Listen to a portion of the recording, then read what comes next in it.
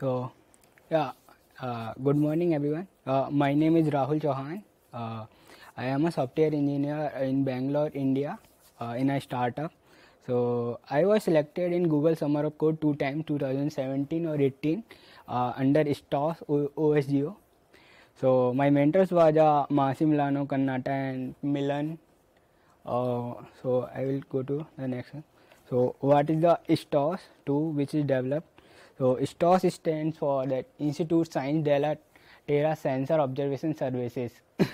so it is uh, uh, it is developed for management and uh, provision for uh, there is a one lake in Canton uh, Canton in southern Switzerland uh, to take a data for that for discharge data for that lake things.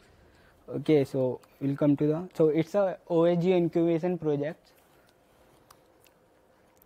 Oh, so it is it is uh, tested in real case application in, in the Verbano Lake, uh, where we tested this uh, istSOS 2 in uh, for early warning system.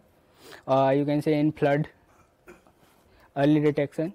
Uh, you can we can use istSOS in different kinds like land planning, hydrogeology, geology, hydrology, and geomatics. We all kind statics or analysis we can do using a istSOS. Uh, it's work with the GIS GIS layer for GIS layers with water protection and zone for every time every every type of uh, analysis for related to waters and uh, all kinds of weather extremes. So, what is the OAT and FREEWAT? So, I will come.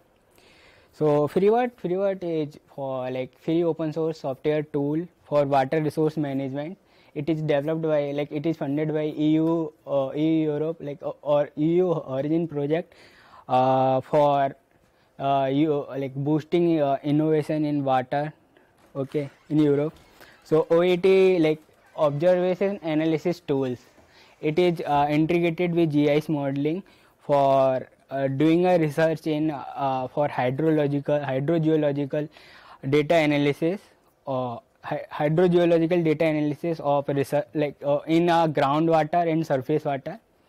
So it is developed in Python and uh, it okay.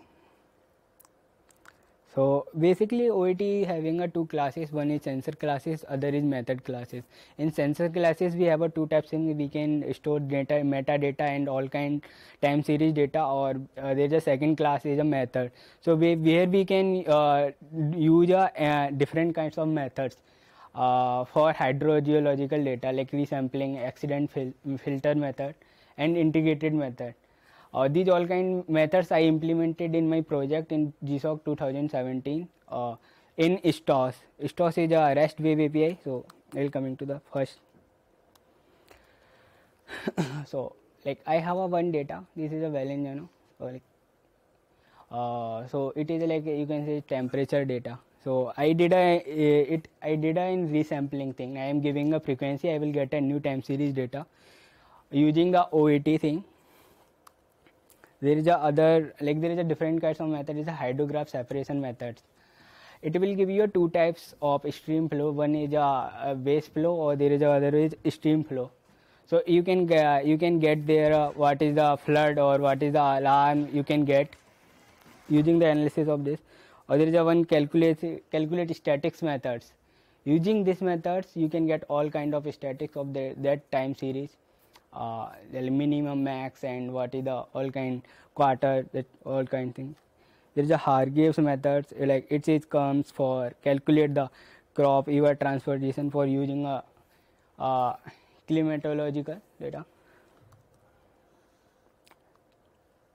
Uh, so it is a like you can use a data values method for in for for a specific time period to uh, count sorry um, remove the outside data and uh, take the all inbound data give you have to give the all the parameter so there is a my 2018 project STOS 3 so uh, what I did here I did uh, uh, I created a two plugin for unit conversion uh, inside STOS 3 one is a PostgreSQL, PostgreSQL unit other is a pint uh, PostgreSQL unit is a extension for post PostgreSQL data so what you have to do like you will get a data or you can convert all the un, uh, unit inside the database. Uh, there is a other pint uh, this is a python library. So using this pint python library you can convert data in other any uh, you can say any unit. Yeah question. Any questions? Done. Okay